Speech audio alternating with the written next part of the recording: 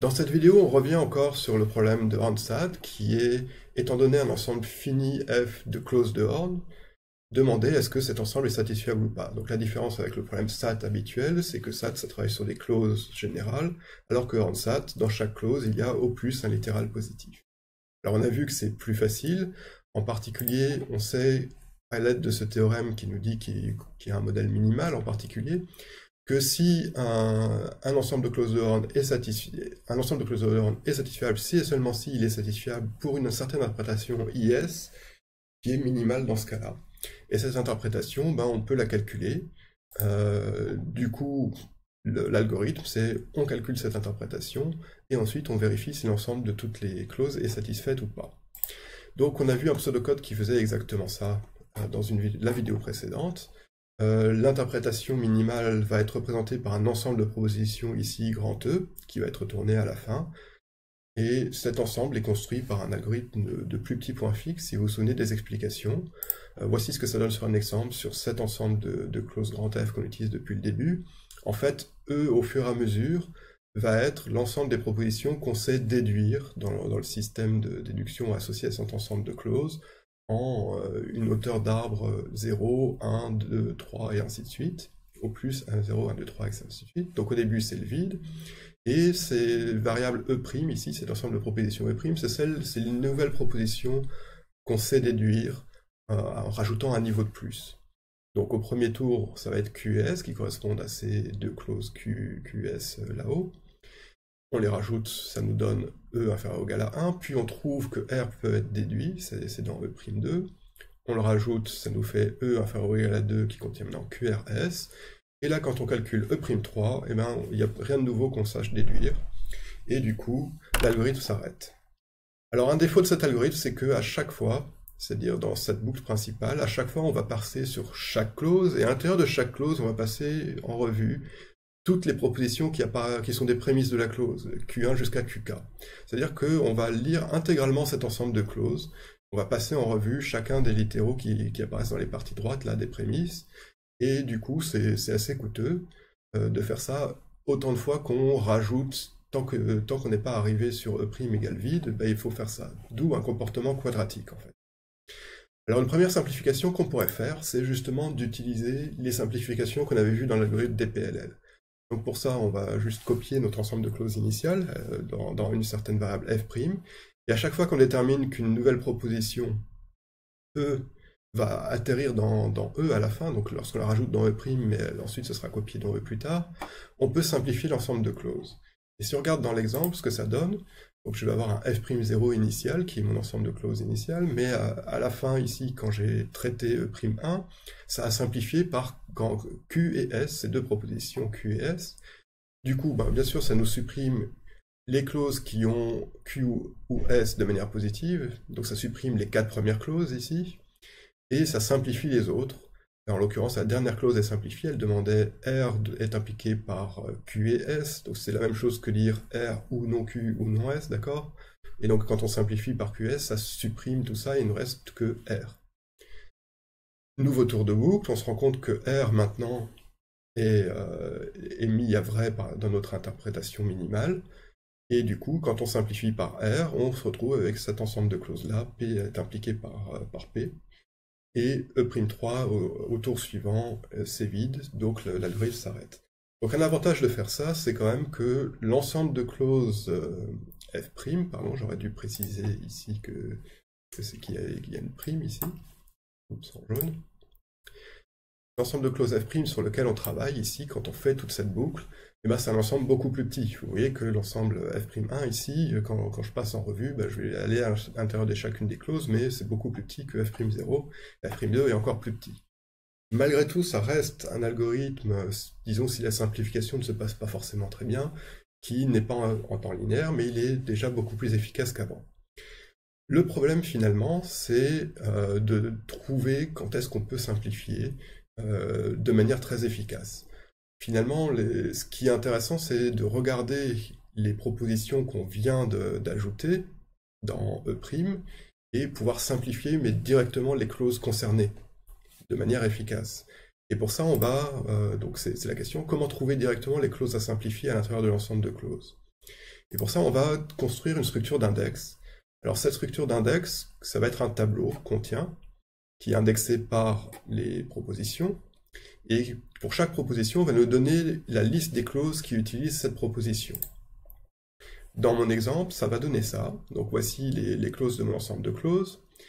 Et mon tableau contient, pour chaque proposition, on va me donner une liste. C'est représenté ici comme des listes gênées, avec un pointeur à chaque fois vers les clauses où la proposition apparaît dans la partie droite comme prémisse de la clause. Donc P est associé à la clause S impliquée par Q et P et à la clause P impliquée par P et R, parce que P apparaît comme prémisse de cette clause à chaque fois. Vous pouvez regarder P', là il y a ce lien en jaune qui est un pointeur vers S impliqué par Q et P', et ainsi de suite. Ça construit cette, euh, cette structure-là. Donc pour la construire, voici un pseudocode euh, très simple. Hein. Euh, ça va être fait dans une phase d'initialisation. C'est quelque chose qui va se faire en temps linéaire où on parcourt toutes les clauses. Donc déjà, on initialise le tableau en disant qu'il y a la liste vide associée à contient partout.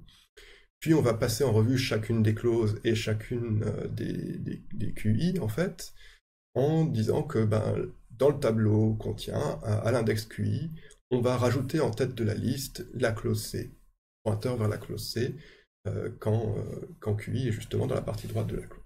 Maintenant, comment est-ce qu'on peut utiliser ça dans notre algorithme? Déjà, on va faire une phase d'initialisation comme celle-ci, où on initialise E à vide, E' à vide, etc.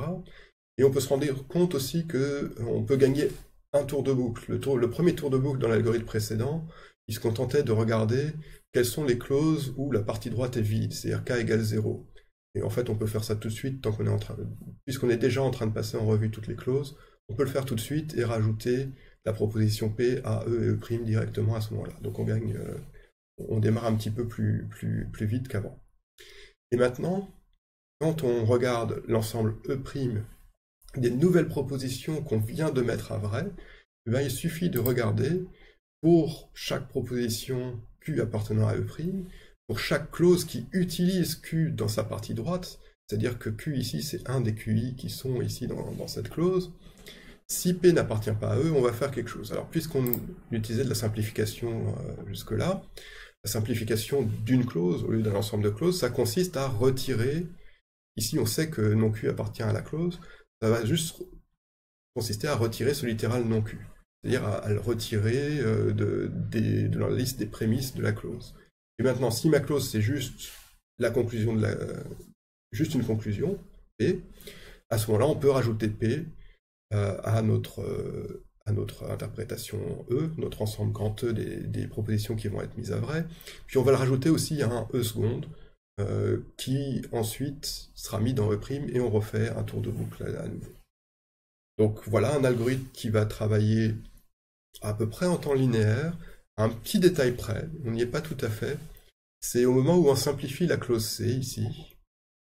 Euh, à ce moment-là, euh, ce qui se passe, c'est qu'on est quand même obligé de passer en revue cette clause-là, la clause C, pour l'enlever, en fait, ce, ce Enfin, ça dépend des structures de données sur lesquelles on travaille, mais potentiellement, il y a encore un, petit travail en plus. Ça dépend des structures de données qu'on utilise pour représenter la clause C. On pourrait peut-être euh, s'arranger pour avoir un, temps linéaire, euh, donc cette opération en temps constant, mais sinon, c'est pas mal. Donc, il faut observer ici que grâce à, cet index inversé, ce tableau contient, on va passer une fois au plus sur chaque occurrence d'une proposition dans la partie droite d'une clause, d'accord? Parce que quand je, passe là sur Q qui appartient à E', je ne repasserai plus jamais sur Q, d'accord? Les, E', vous l'avez déjà vu, ils sont disjoints. Est-ce que je rajoute jamais quelque chose qui est déjà dans E Je ne rajoute pas dans E' à nouveau. Donc les E' sont disjoints, donc je passe une fois sur chaque proposition, et ensuite je passe une fois sur chaque clause qui contient euh, cette proposition Q. Une fois, du coup, une fois pour Q1, une fois pour Q2, une fois, etc., jusqu'à QK, mais du coup, longueur de la clause euh, fois en tout sur cette même clause, et donc taille de mon ensemble de clauses au total. Rappelez-vous, la taille de mon ensemble de clauses, c'est la somme des longueurs des clauses. Donc là, j'ai déjà quelque chose qui fait ce code si P n'appartient pas à E, etc. Un nombre linéaire de fois par rapport à la taille de mon ensemble de clauses.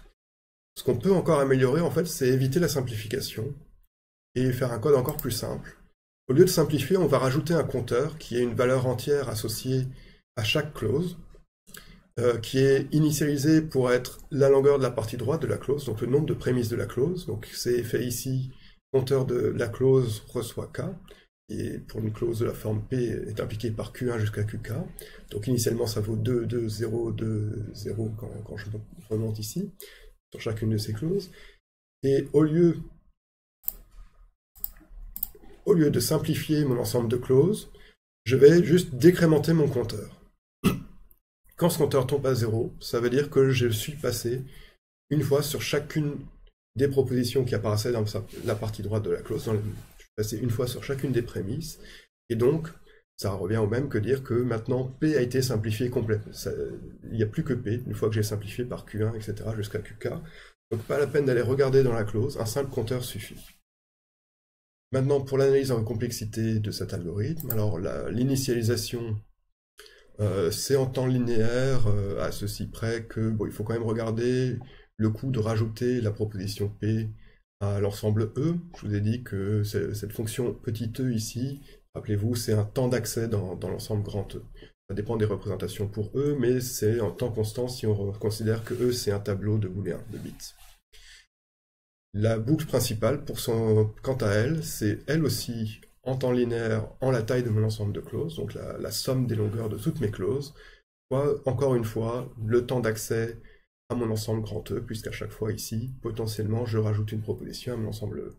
Mais comme dit, euh, ce temps d'accès, ça peut être en temps constant si on utilise des structures, euh, par exemple, de tableaux de bits, euh, de tableaux de Boolean.